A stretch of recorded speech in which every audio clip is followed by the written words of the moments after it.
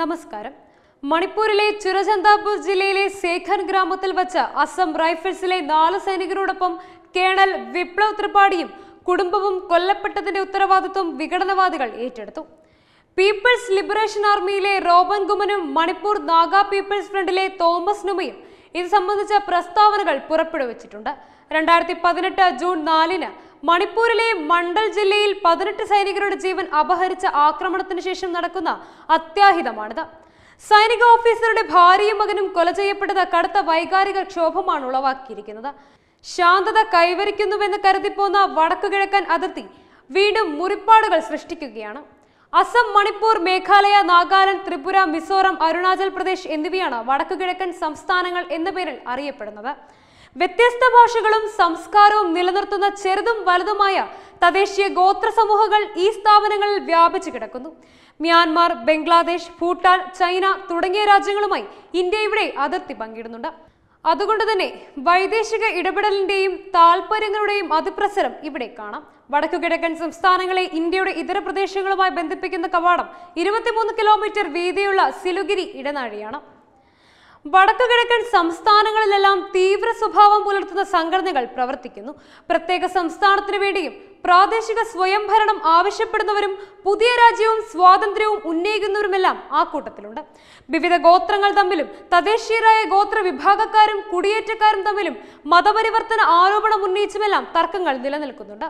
British ഭരണകാലത്ത് തദ്ദേശീയ ഗ്രൂപ്പുകൾക്ക് ലഭിച്ച അനിയന്ത്രിത അധികാരങ്ങൾ തടസ്സപ്പെട്ടത് തൽപര കക്ഷികളുടെ ഇന്ത്യാവൃത വികാരത്തിന് കാരണമായിട്ടുണ്ട്.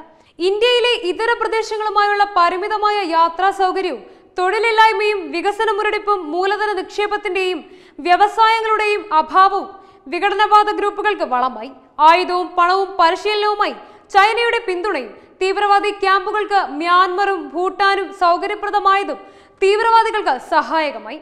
വിഭിന്ന സ്വരങ്ങളോട് അങ്ങേയറ്റത്തെ സഹിഷ്ണുതയാണ് ഇന്ത്യ സർക്കാർ എല്ലാ കാലത്തും പുലർത്തിപ്പോന്നത്.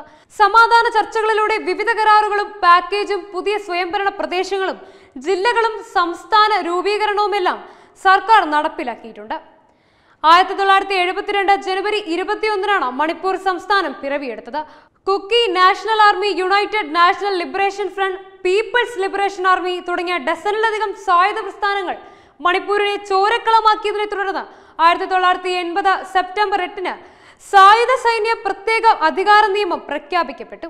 നിയമത്തിനെതിരെയുള്ള ഇരോം ശർമിളയെ പോലുള്ളവരുടെ സമരങ്ങൾ തലക്കെട്ട് പിടിച്ചു പറ്റിയിരുന്നു അഫ്സ്പ ഇപ്പോഴും തുടരുന്നുണ്ട്. അസമിലെ ജില്ലയിലായിരുന്നു നാഗാലാൻഡിനെ ആയിരത്തി തൊള്ളായിരത്തി അറുപത്തി മൂന്നിൽ ഇന്ത്യയിലെ പതിനാറാമത് സംസ്ഥാനമായി പ്രഖ്യാപിച്ചു. മണിപ്പൂരും നാഗാലാൻഡും അസമിലെ കൊച്ചാർ മലനിരകളും ഉൾപ്പെടുന്ന വിശാല നാഗാലാൻഡിന് വേണ്ടി national socialist council of Nagaland സായുധ പോരാട്ടത്തിലാണ്. ഇപ്പോഴും ആയുധം പൂർണമായി താഴെ വെച്ചിട്ടില്ല. ത്രിപുരയിലെ ആദിവാസി ഗോത്രങ്ങൾ ചേർന്ന് സംഘടിപ്പിച്ച ത്രിപുര നാഷണൽ വോളണ്ടിയേഴ്സ് പിൽക്കാലത്ത് നാഷണൽ ലിബറേഷൻ ഫ്രണ്ട് ഓഫ് ത്രിപുരയായി മാറി. രണ്ടായിരത്തി പത്തൊൻപതിൽ ത്രിപുരയിൽ സമാധാന ഉടമ്പടി സാധ്യമായി. ചക്മാറിയാങ് ഗോത്രക്കാരുടെ പോരാട്ടങ്ങൾക്ക് വേദിയായിരുന്ന മിസോറമിൽ ആയിരത്തി തൊള്ളായിരത്തി എൺപത്തി മിസോറം അക്കോർഡ് നിലവിൽ വന്നു. വടക്കുകിഴക്കൻ സംസ്ഥാനങ്ങളിലെ വലിയ സ്റ്റേറ്റായ അസം മ്യാൻമാർ ബംഗ്ലാദേശ് ഭൂട്ടാൻ തുടങ്ങിയ രാജ്യങ്ങളുമായി നേരിട്ട് അതിർത്തി പങ്കിടുന്നു. തദ്ദേശീയ വിഭാഗങ്ങളും കുടിയേറ്റക്കാരും തമ്മിലുള്ള പതിറ്റാണ്ടുകൾ നീണ്ട കലഹങ്ങളും വിഘടനവാദ പോരാട്ടങ്ങളും അസമിന്റെ മായാത്ത മുറിവുകളാണ്. പൗരത്വ ഭേദഗതി നിയമത്തിന് മോദി സർക്കാർ ഹേതുവാക്കിയതും അസമിനെ ചൂണ്ടിക്കൊണ്ടായിരുന്നു. ബോഡോലാൻഡിനായി ആയുധമെടുത്ത ബോഡോ ലിബറേഷൻ ടൈഗർ ഫോഴ്സ് രണ്ടായിരത്തി എട്ടിലെ ബോഡോ ടെറിട്ടറി കൗൺസിൽ രൂപീകരണത്തോടെ കീഴടങ്ങിയെങ്കിലും സ്വതന്ത്ര ബോഡോ രാജ്യത്തിനു വേണ്ടി ആയിരത്തി തൊള്ളായിരത്തി എൺപത്തി ആറിൽ രൂപീകരിച്ച എൻ ഡി എഫ് ബി ഇപ്പോഴും സജീവമാണ്. സ്വതന്ത്ര അസമിനായി നിലകൊള്ളുന്ന ULFA united liberation front of Assam ആയിരത്തി തൊള്ളായിരത്തി എഴുപത്തി ഒൻപതിൽ രൂപമെടുത്തു. കോച്ച് രാജബംഷി വിഭാഗം രൂപീകരിച്ച കംനാപൂർ ലിബറേഷൻ ഓർഗനൈസേഷൻ അസമിലെയും ബംഗാളിലെയും പത്ത് ജില്ലകൾ ചേർന്നുള്ള പ്രത്യേക സംസ്ഥാനം ലക്ഷ്യമിടുന്നു. അന്തർസംസ്ഥാന അതിർത്തി തർക്കങ്ങൾ ഫെഡറൽ ഇന്ത്യയുടെ നാണക്കേടായി വടക്കു കിഴക്കൻ സംസ്ഥാനങ്ങൾക്കിടയിൽ പരിഹരിക്കപ്പെടാതെ അവശേഷിക്കുന്നു. നാഗാലാൻഡ് മേഘാലയ അരുണാചൽ പ്രദേശ് മിസോറം സംസ്ഥാനങ്ങളുമായി അസമിന് അതിർത്തി തർക്കമുണ്ട്. രണ്ടായിരത്തി ഇരുപത്തിയൊന്ന് ജൂലൈ ഇരുപത്തിയാറിന് അസം മിസോറം പോലീസുകാർ നടത്തിയ വെടിവയ്പിൽ അഞ്ച് അസം പോലീസുകാർ കൊല്ലപ്പെട്ടിരുന്നു. നൂറ്റി അറുപത്തിയഞ്ച് കിലോമീറ്റർ നീളുന്ന അസം മിസോറം അതിർത്തിയിൽ സംഘർഷങ്ങൾ തുടർക്കഥയാണ്. രണ്ടായിരത്തി പതിനെട്ടിൽ അൻപത് പേർക്ക് പരുക്ക് പറ്റിയിരുന്നു. ആയിരത്തി തൊള്ളായിരത്തി തൊണ്ണൂറ്റി അഞ്ചിലാണ് ആദ്യ സംഘർഷ വാർത്തകൾ പുറത്തറിഞ്ഞത് ആയിരത്തി തൊള്ളായിരത്തി എഴുപത്തി ഒന്നിലാണ് അസമിൽ നിന്ന് വേർപെടുത്തി പ്രത്യേക മേഘാലയ സംസ്ഥാനം രൂപീകരിച്ചത്.